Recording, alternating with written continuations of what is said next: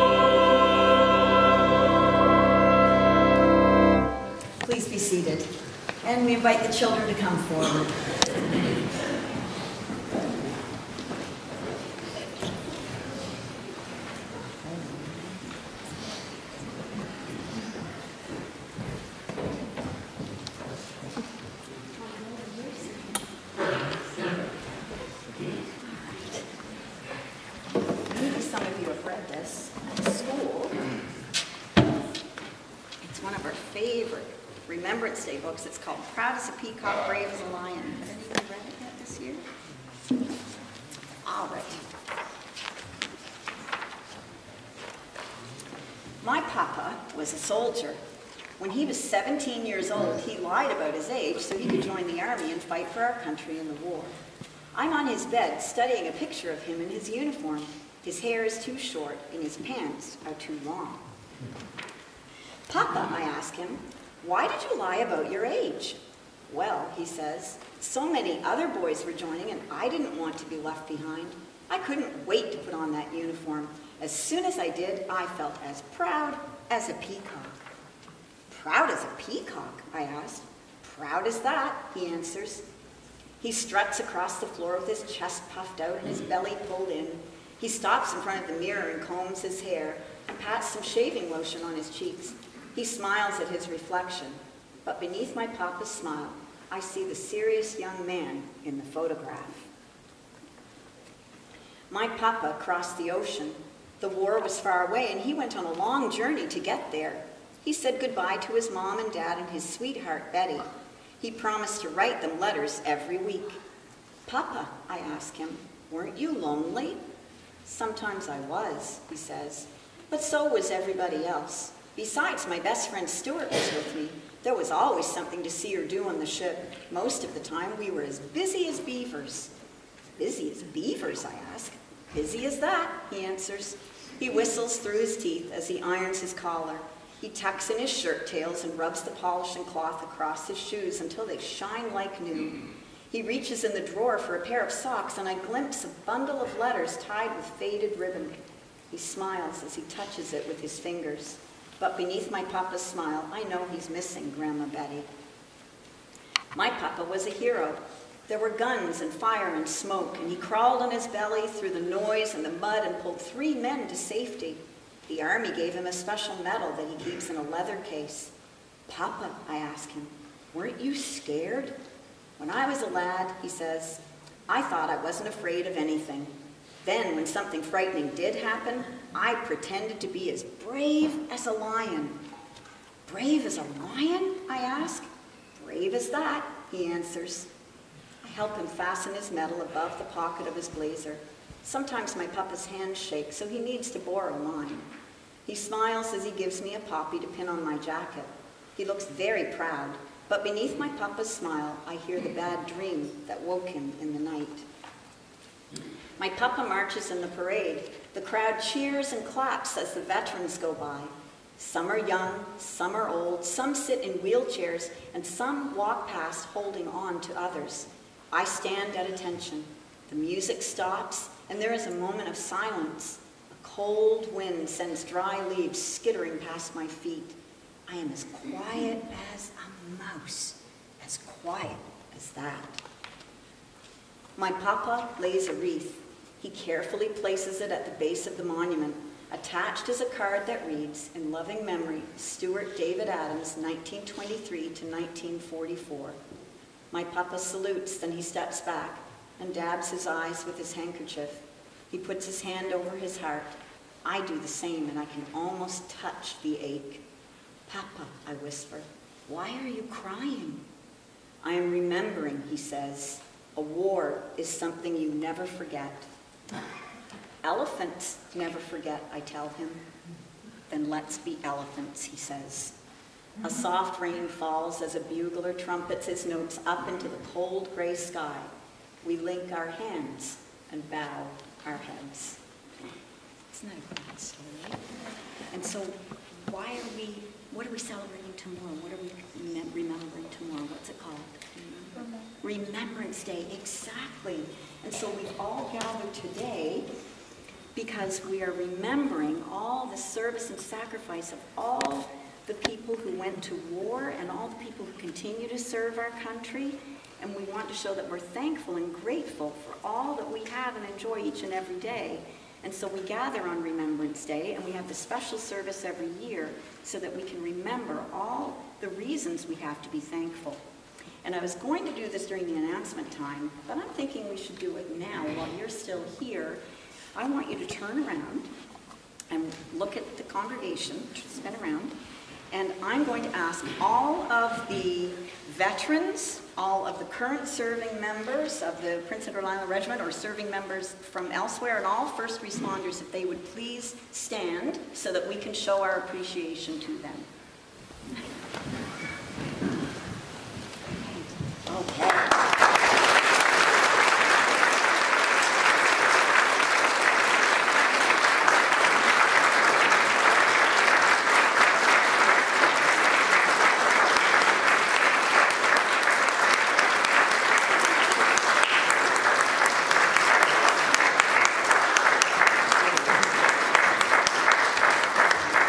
right, Everyone be seated. And you turn around, we'll have a prayer together before you go. Thank you, everyone.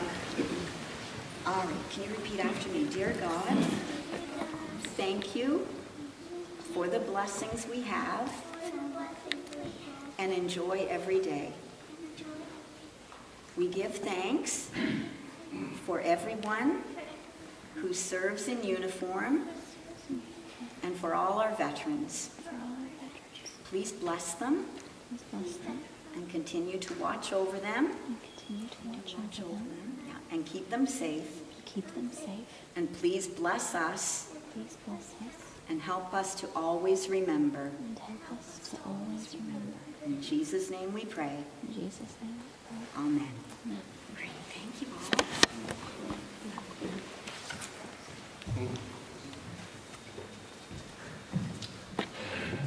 I would like to invite the CO and the Director of Music, Captain O'Donnell, if they would come forward, please.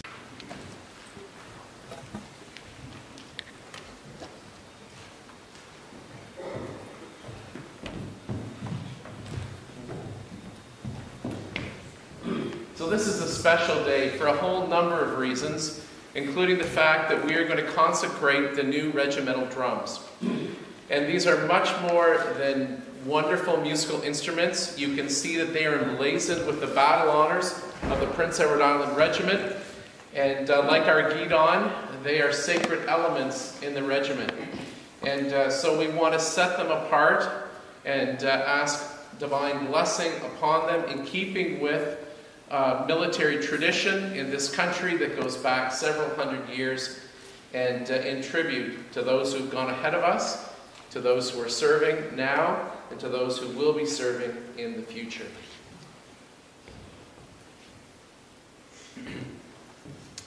Padre, on behalf of the Prince Edward Island Regiment, we ask you to bid blessing on these drums. In the name of the one who is holy, we do consecrate and set apart these drums, that they may be a sign of our duty toward our King and our country. Lord God, as we consecrate these drums today, we invoke your blessing upon them. We also ask for your favor to rest upon all members of the Prince Edward Island Regiment. May they who follow these drums be granted courage and wisdom, protection and honor, and be sustained through resiliency in body, mind, and soul. For these things we pray and ask in your name. Amen. Amen. Please. Um, I'd just like to take a moment. Um, if you haven't seen the drums up close, I invite you after the service. Please come take a look uh, closer and see the, the amazing workmanship that's gone into these. These were hand painted in the UK by a company called Ammo and Co. that uh, do these drums. And it was back in 2017 that we first uh, got the idea that we needed to have a new set of drums and we needed them to have our battle honors and our colors. And through the work of, of myself, our RQ Sergeant McKinnon, our Band Sergeant Major, Warrant Officer Michael Ant, and our CO at the time, Lieutenant Colonel Moriarty. Uh, countless hours of work went into making these, and I think you'd all agree with me that they are absolutely beautiful, mm-hmm. and I thank you, Padre, for taking the time to consecrate them. Awesome. Well said. Thank you.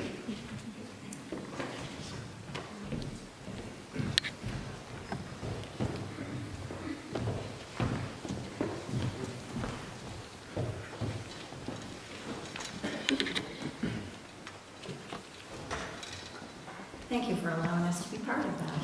That was a special thing to be part of. And let's bow our heads for our prayer of confession. Let us pray.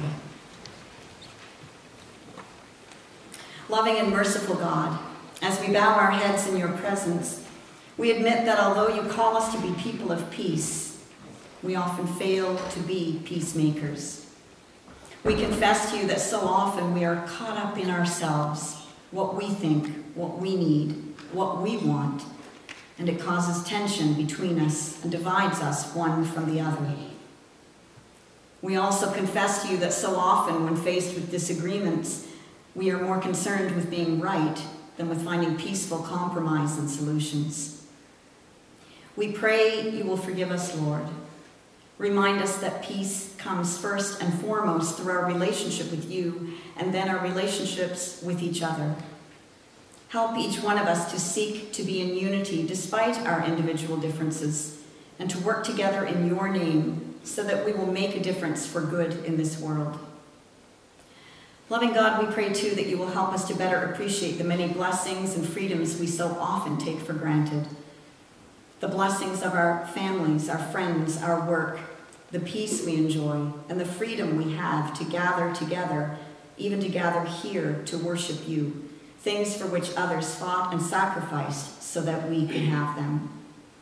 Help us to better appreciate the sacrifices that others have made on our behalf and for our sake and help us to better appreciate our faith and the difference it makes, to more fully appreciate the sacrifice Jesus made on our behalf and for our sake. And all these things we pray in and through his name. Amen. Hear the good news. The good news of the gospel is that Christ died so that we might live. Through his sacrifice, we have been forgiven. Thanks be to God. Amen. I invite you now to turn to page 548 in your Pew Bible. For those of you in the front row, they're just under the seat there. There's a little shelf. Um, you may have to share. There might not be enough of the actual Pew Bibles, but page 548, and we'll be reading Psalm 91 responsively, and we invite Scott MacDonald to lead us.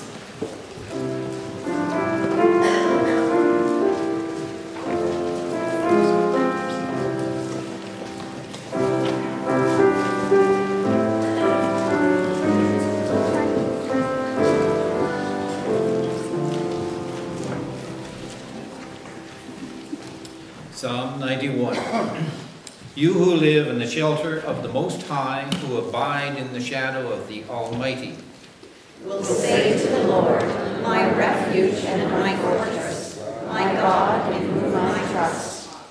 For he will deliver you from the snare of the fowler and from the deadly pestilence. He will cover you with his pinions, and under his wings you will find refuge. His faithfulness is a shield and buckler. You will not fear the terror of the night, or the arrow that flies by day, or the pestilence that stalks in darkness, or the destruction that wastes at noonday. A thousand may fall at your side, ten thousand at your right hand, but it will not come near you. You will only look with your eyes and see the punishment of the wicked. Because you have made the Lord your refuge, the Most High your dwelling place. No evil shall befall you, no sword come near your tent. For he will command his angels concerning you to guard you in all your ways. On their hands they will bear you up, so that you will not dash your foot against a stone. You will tread on the lion and the adder, the young lion and the serpent you will trample underfoot. Those who love me I will deliver. I will protect those who know my name. When they call to me, I will answer them. I will be with them in trouble. I will rescue them and honor them. With long life I will satisfy them and show them my salvation.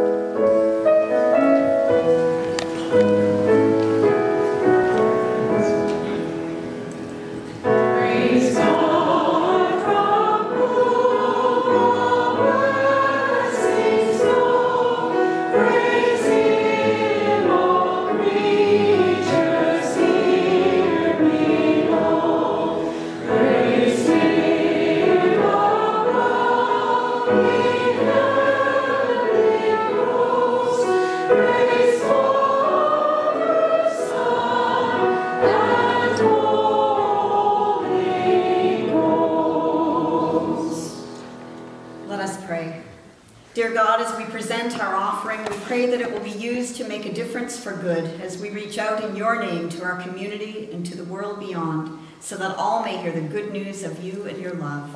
In Jesus' name we pray. Amen. Amen. Please be seated.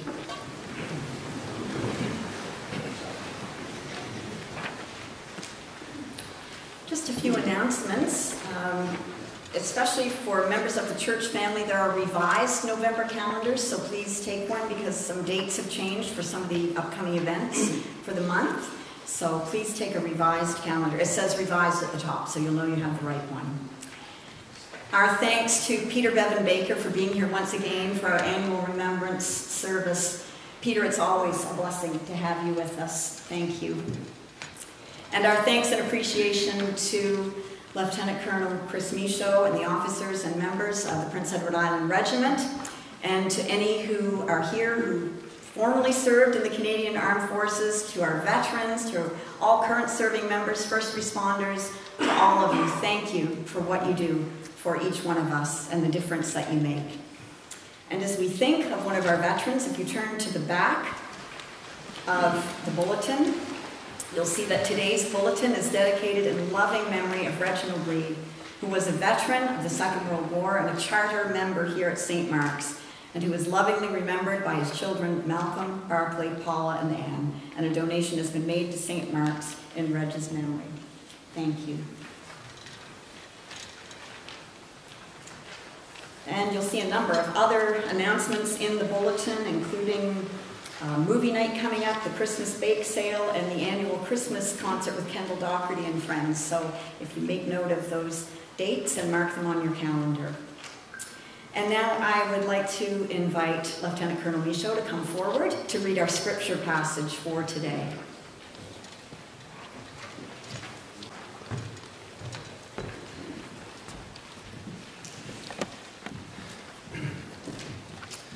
A reading from John chapter 15, verses 9 to 17. Jesus said, As the Father has loved me, so have I loved you. Abide in my love. If you keep my commandments, you will abide in my love, just as I have kept my Father's commandments and abide in his love. I have said these things to you so that my joy may be in you, and that your joy may be complete. This is my commandment, that you love one another as I have loved you. No one has greater love than this, to lay down one's life for one's friends. You are my friends if you do what I command you. I do not call you servants any longer, because the servant does not know what the master is doing. But I have called you friends, because I have made known to you everything that I have heard from my Father. You did not choose me, but I chose you. And I appointed you to go and bear fruit, fruit that will last so that the Father will give you whatever you ask him in my name. I am giving you these commands so that you may love one another.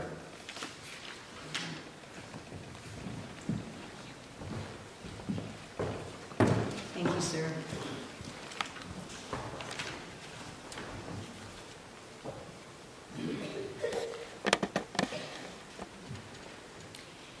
In a world where we can communicate with family and friends instantly, whether they are across the street or across the world, we can easily forget that during the First and Second World Wars, communication was dependent on newspapers, radio reports, and letters. Literally millions of letters were exchanged between those serving and their families at home. Care packages were sent with socks and home baking. Some contained precious photographs to remind the soldiers, sailors, and airmen of those who were keeping the home fires burning, eagerly awaiting their return. Letters were quite literally a lifeline between those serving and those at home, providing a window on the world in which each was living at the time. When it came to those letters, chaplains played an important role, one that is often overlooked. But we're going to hear from one of those chaplains as he tells us the story of letters home. He's Padre Alfred Seaman from Springfield, Prince Edward Island, serving with the 5th Field Regiment near Caen, France. He's at his desk in his tent preparing to fulfill one of his duties. And we'd like you to imagine this morning that you are a war correspondent. You've been told that a unit's military chaplain has a special understanding of what is important to soldiers. So you've come to talk to the Padre and ask him about his work.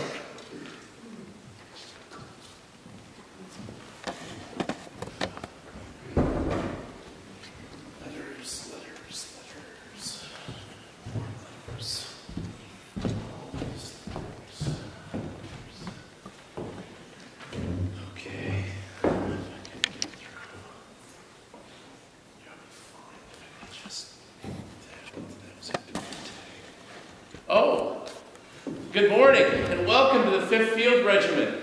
I'm the military chaplain, Padre Alfred Seaman. I- I'm glad you've taken time to stop by. Good to meet you. Um, where do you hail from in Canada? Nova Scotia. Always a pleasure to meet a fellow maritimer.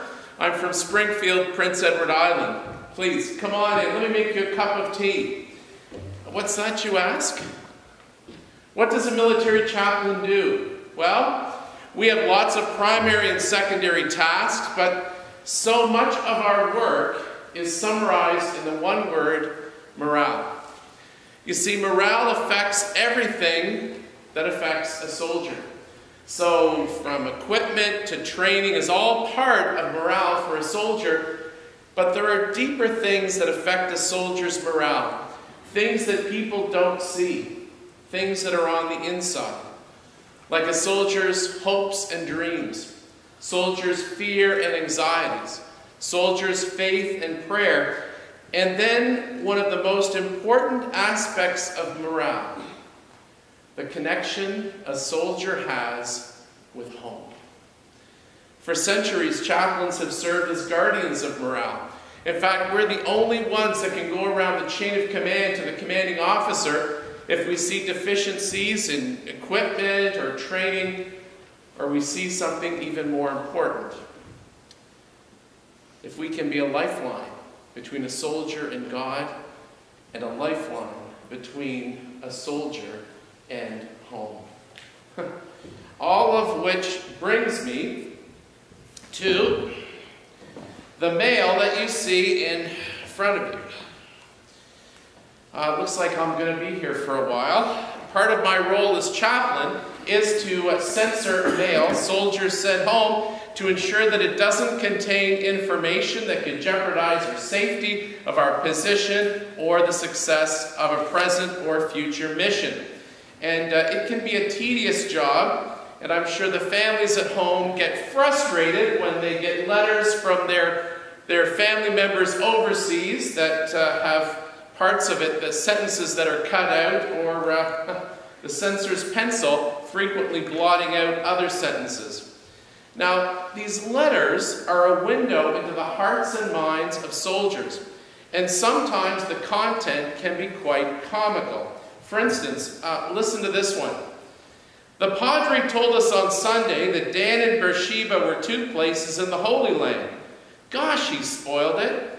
I always thought they were man and wife, sort of a romance like Sodom and Gomorrah. or the, uh, the other one handed me here by our CO who asked me to recommend a response. Dear Colonel, could you give any information about my husband? When we married in Birmingham three months ago, I was not well. Since then, I have had no money and have been in bed three weeks with a doctor and am no better. I suspect that the wording wasn't quite the message she meant to convey, but I was able to have that soldier write home a letter to his wife. In many of the letters home, soldiers explain why they enlisted, why they feel it's important to fight in this war. And this is what one soldier wrote. I believe that signing up was both a patriotic and prestigious choice, even though I didn't have any connection with the regiment. And another soldier said, My background, I suppose, is Scottish. I've always liked the Highland Regiment, so I joined up. I didn't know anyone in it, but I thought it was a pretty proud regiment.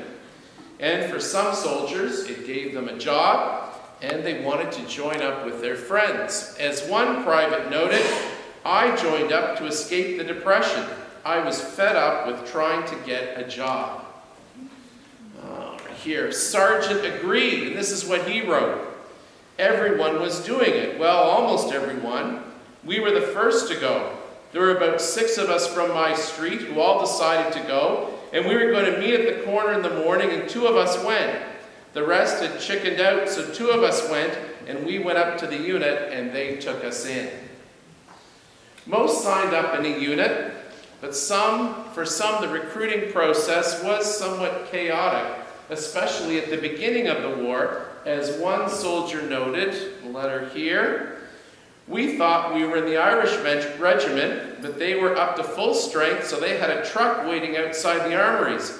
And they said, if you want to get to a kilted outfit, jump in the truck. And we didn't know even where we were going, but that's where we ended up. For many of us who have been separated from our families for years, it's the letters we get from them. It's the memories of home. It's, it's the memories of the last day with our families from home that stay with us. And I, I came across a letter earlier that described the last moment a soldier was leaving his hometown of Montreal. And he asked me to send it to his sister, and, uh, and here it is. It takes about 20 minutes to get out of Montreal, counting the different stations, and along the line, the people from the factories and nearby houses were all standing out to wave us goodbye and cheer us up. Lots were crying. One old lady handed me a big flag, which I certainly did fly and did cheer and say goodbye to some hundred people. When I would see a poor old woman crying, I would holler to her, Don't cry, mother, we're coming back. But God only knows which ones are coming. Gee, it was sad, but we could not afford to cry. It would only make the ones left behind feel worse. I think it's harder on those left behind than it is on those leaving because we have too much to do and think about, that we are too busy to get lonesome. I felt very happy and hollered and sang with a bunch like a two-year-old till just losing sight of Montreal. I was standing there on the platform of our car and looked out and saw Mount Royal and said to myself, where will I ever see it again? It was then that I felt blue for a moment and almost cried. Hmm. And when I come across soldiers from PEI now and then, and they have similar stories to tell me about their last moments before they were either on the train or they were marching to the ferry at Wood Islands to leave. Life in France also means dealing with the ongoing illnesses like colds and flus. And sometimes soldiers get creative to keep going, as one soldier wrote. Bleary from the flu, I will try a new remedy, aspirin and gin. if I am alive tomorrow, we'll be able to discuss its merits. Apparently, the concoction worked because the letter continues with, the remedy was so successful that I must repeat it tonight. If its merits becomes more evident with use, will be superhuman shortly. A chew, more flu, so more remedy. there are also letters that describe danger at the front. Naturally, this includes combat against the enemy, but even trying to rescue the wounded and the dead was dangerous. And I haven't censored this letter yet, but it certainly describes the danger that is ever present, and this is what one young officer wrote. A few days ago, I hit the dirt when I heard a Jerry shell coming and managed to shove my nose into the ground where a Jerry body had been lying. I also I almost lost my lunch, but it was better than losing something else. my real baptism of fire came when I went with some others to recover the bodies of three of our fellows who had been hit by mortar fire. We christened the corner Hellfire Corner. Hellfire Corner was near Caen, France. Censored, no locations. Jerry had it under observed mortar fire. When we got there, he had several vehicles pinned down and was dropping those mean airburst shells that go off just above our heads. I dove beside a fellow when we heard one coming. He got it in the head. A piece went through his helmet, but hadn't enough left to penetrate the skull. He also lost part of a finger, but was not knocked out. Why I escaped is one of the great mysteries of war. I only had on my cap. I decided it was time to move fast. Shortly after, I ducked and felt a ping on my rear end and figured I would have something to show for my war effort. But the piece of shrapnel had hit on the lapel of my back pocket and didn't have enough force left to penetrate the skin. That night, I uttered prayers of thanksgiving in hopes that I would be worthy of survival. I was plenty scared, as were all the rest. Make no mistake. Despite their resolve, despite their courage, despite their commitment, soldiers are scared. I know this because of my ongoing conversations with them. Having a lifeline with one's home and with one's comrade is absolutely vital. But there's another lifeline that is also very important for soldiers. And I just received a letter from a fellow chaplain who is a close friend, and this is what he wrote. After lunch, I had a voluntary service by the roadside. 100 men participated, and even the traffic of tanks on the road failed to interfere. I wish that I could always have as interested a congregation. I invited, any who desired to enter a nearby house for communion service. I expected about a dozen, but over 40 lads came and crowded the small room. A few wanted New Testaments. I had only six with me, and they were grabbed very quickly. I chatted a while after the service, and as I came away, I noticed one lad sitting by the road reading the New Testament I had given him. Believe me, religion is not merely respected, it is actually practiced in this front line. There is no time to talk about petty themes in services here. In addition to censoring the mail, I write letters to next of kin, and some of those are extremely difficult to write. This is a letter that I've just written to a mother of a young soldier who was killed.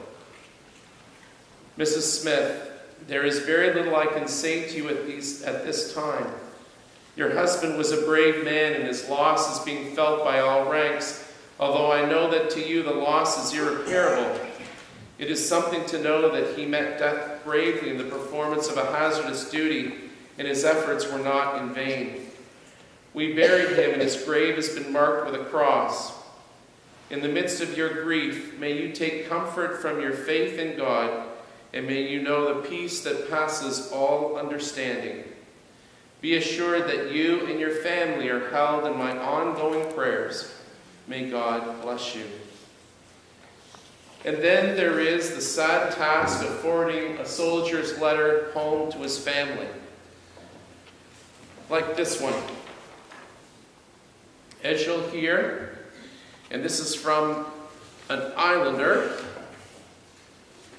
he was prepared for the possibility of not returning home, and this was his just in case letter. Unfortunately, now I have to send it to his family. By the time you receive this, I'll have arrived at last at the end of the trail. I know it will be a great comfort to you to know that I was well prepared to face our Lord, and that even as you read this, I will be close by in spirit praying for you all.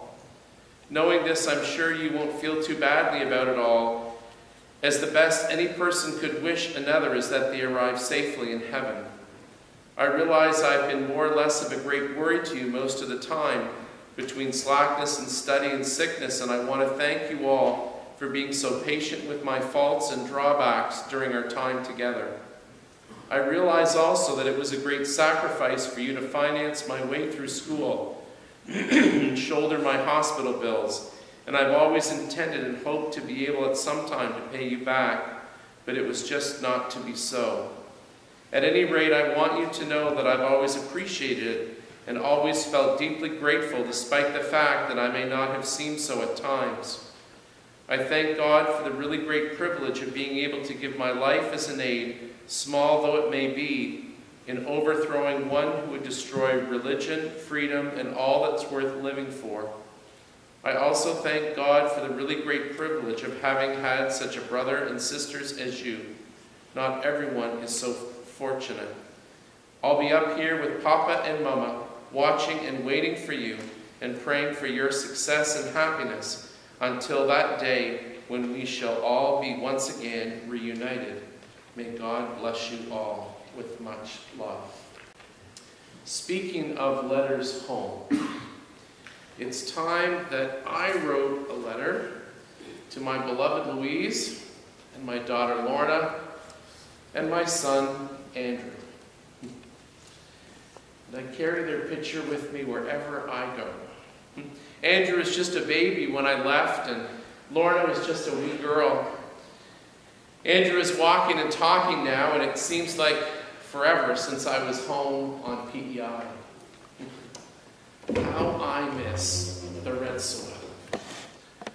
How I miss the lupins in the spring. And I think about my last day with my wife and my son and daughter. And like so many soldiers over here, I think over and over and over and over again what it will be like those first few hours, that, that first day when I'm home. I think about holding my beloved wife for the first time in years and how incredible that is going to feel. I think about hugs with my son and daughter. I, can see in my mind's eye my daughter around the kitchen table and my parents' farm and, and mom teaching my daughter how to cook. And, and I see my son in the barn with my dad as he teaches Andrew his son his skills as a farmer. And then at night, when I'm the loneliest, I see myself holding hands with my beloved Louise and walking on our favorite beach on the North Shore. And I think about that over and over and over again.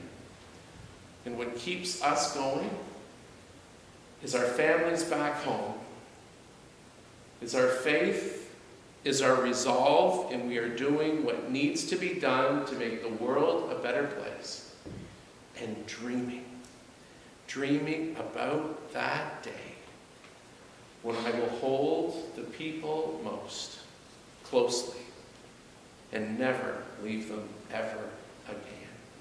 So, I've got a letter I need to start. Here's their picture.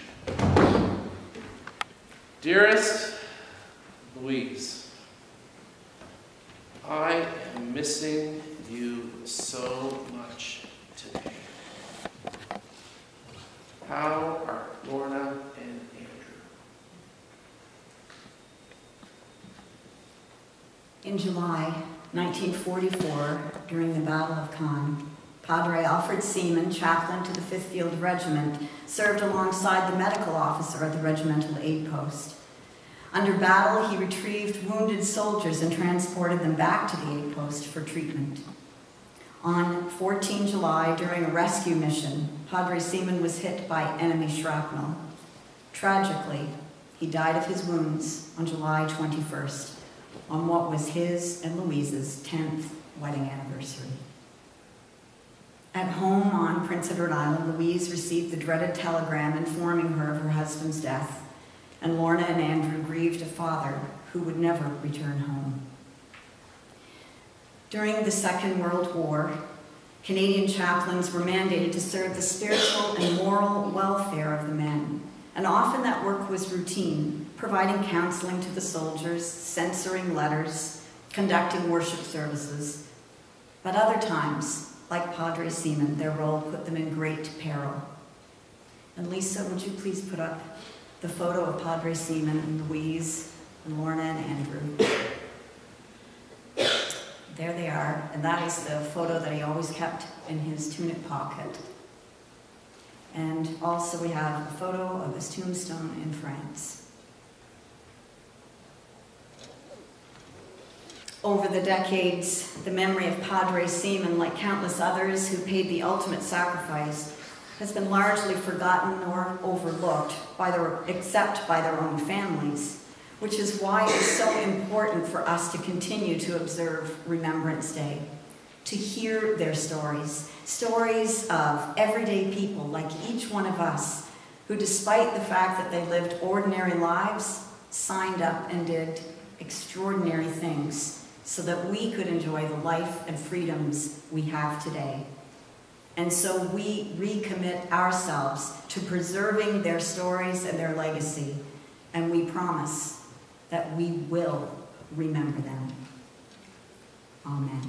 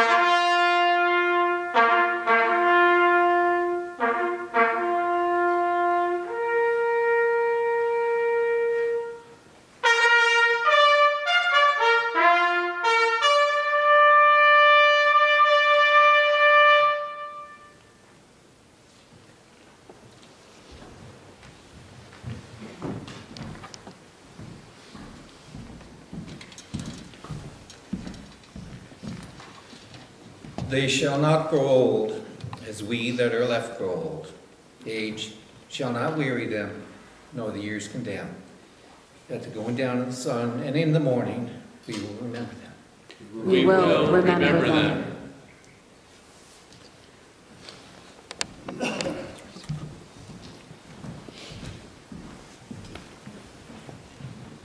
Let us pray.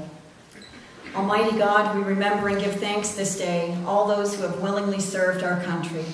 We give thanks for the sacrifices they made so that we might live in freedom. And we thank you too for those who continue to serve to preserve our freedoms. Please watch over and protect them, we ask. Lord, we live in a selfish and self serving world where people are focused on themselves and their own personal gain. But Remembrance Day reminds us of those who have done the opposite. And so today we give thanks for all those who gave their lives in service to our country.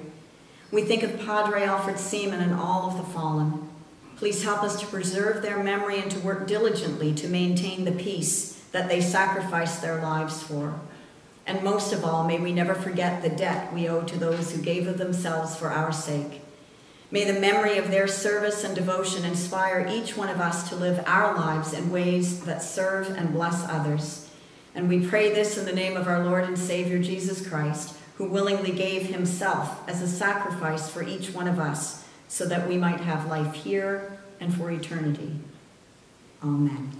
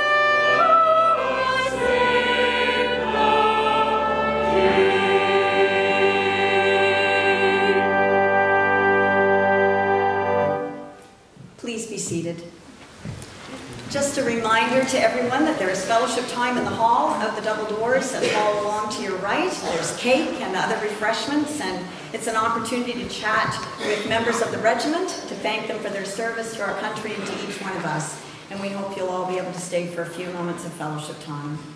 And our closing praise this morning is Abide with Me.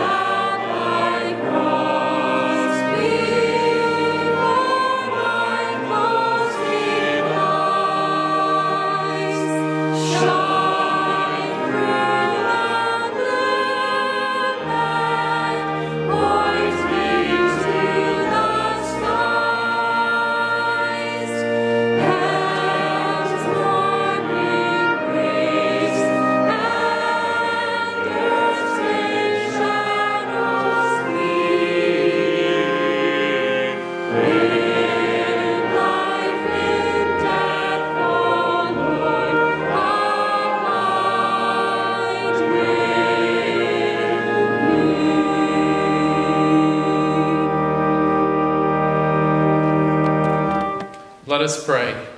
The Lord bless you and keep you, and the Lord make his face to shine upon you and be gracious to you. And the Lord lift up the light of his countenance upon you to fill you with his peace this day and forevermore. Amen.